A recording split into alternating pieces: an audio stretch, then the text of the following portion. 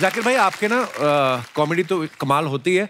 कभी कभी आपके शेर सुनने को मिल जाते हैं। छोटे छोटे पंद्रह बीस बीस सेकंड के क्लिप जो आपके सीरियस जो शायरी होती है जी वो बड़ी कमाल की होती है। कुछ हो जाए जाकिर तो भाई। एक एक आधा शेर एक आ, क्योंकि आपका शो साहब तो एक फनी शेर से शुरुआत करते हैं। जी।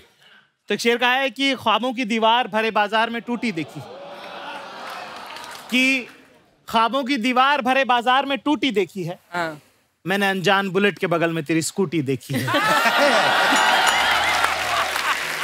बहुत अच्छा एक शेर है कि कहा है कि बताने की बात तो नहीं है। कि बताने की बात तो नहीं है पर बताने दोगी क्या? वाह।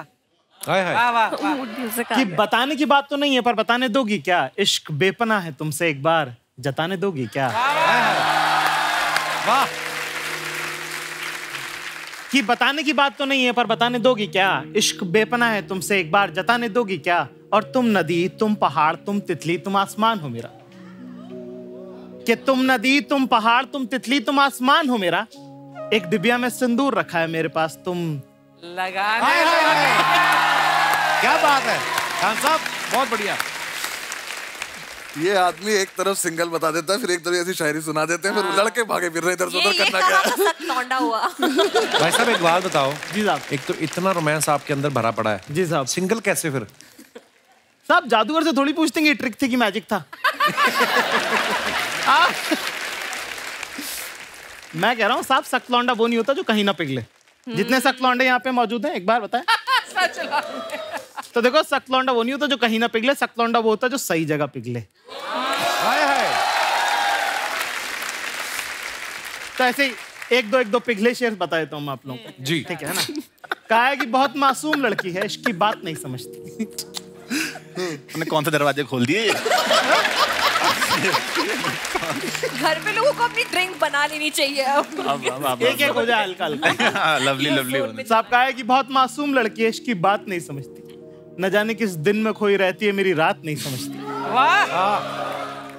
और हाँ हम्म सही बात है तो कहती है। हाँ हम्म सही बात है तो कहती है। अल्फाज समझ लेती है जज्बात नहीं समझती। क्या बात क्या बात अच्छा आप सब लोग तो फॉरेन में भी शोज़ करने जाते हैं। जैसे हमारा पांडे ना जो पीछे ड्रम के भी नीचे बैठा हुआ है। पहली बार हम इंटरनेशनल फ़्लाइट में गए ना तो ये बाथरूम में गया तो इसने वो आती ना आवाज़ करके तो इसको लगा मैंने इमरजेंसी लैंडिंग करवा दी है। इसको ऐसा लगा। आपका क्या एक्सपीरियंस था जब पहली बार फ़्लाइट में बैठे इंटरनेशनल तो छोड़ो फ़्लाइट फ़्लाइट होती है। मैं तो सर पहले बैठा था लखनऊ से दिल्ली। कुछ काम था घर का ही तो दीदी ने टिकट करा दी थी मैं आया था। अच्छा शुरू पुश्तैनी अमीर है। सर ये थर्ड ईयर की बात है कॉलेज की और उसके बाद मैं फ़्लाइट में बैठा हूँ छह साल बाद। अच्छा। तो उस टाइम कोविड से पहले था तो वो दे देते थे खाने वाने को। तो मैंने सैंडविच मंगाया। वो जितनी देर में आया, दिल्ली आ गया। तो ने सैंडविच दिया कि खोलना मत लैंड कर रहे हैं। मैं तो दीदी दिया ही क्यों था? इतना महँगा था खाना तो पड़ेगा। पूरा एपिसोड देखने के लिए सोनी लिव ऐप डाउनलोड करें।